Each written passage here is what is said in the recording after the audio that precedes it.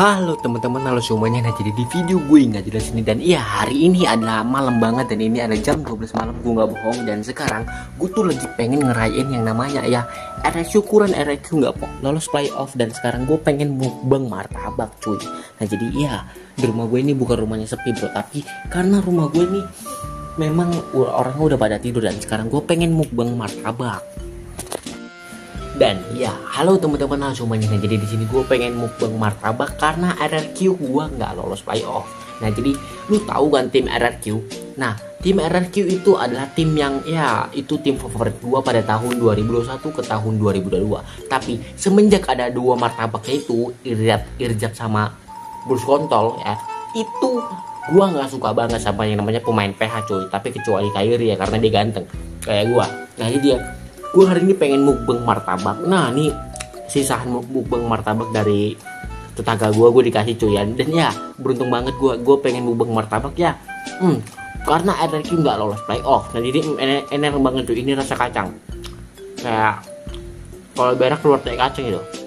Dan iya kalau menurut gue dan sekarang gue tuh kalau misalnya MPL main ya MPL mainku tuh sekarang milihnya netral karena gue udah nggak milih siapa-siapa mau EVOS Onyx atau siapa pun ya RQ terutama itu dan pastikan nggak lolos playoff.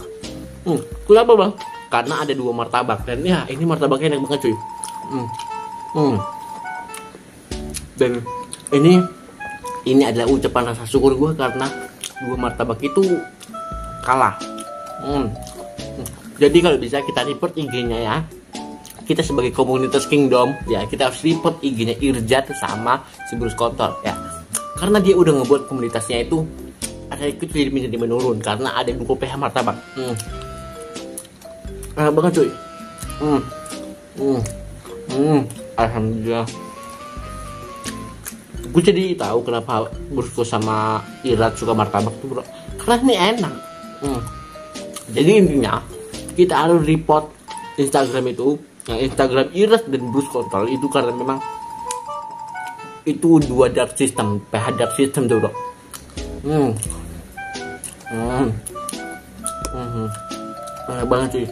Dan dia kalau gue dikasih dikasih slot MPL buat main di RRQ gue bakal mainin Hanjo gue karena gue adalah top global Hanjo walaupun top kampung masih ada. Ya udah. Dan dan asli gue tuh masih jagoan gue daripada si Irjan itu yang main yang ngeteng doang coba kalau gue main. Hmm, pasti Hanju gue keluar. Karena kenapa? Hanju itu hero nya susah nggak bisa dipakai.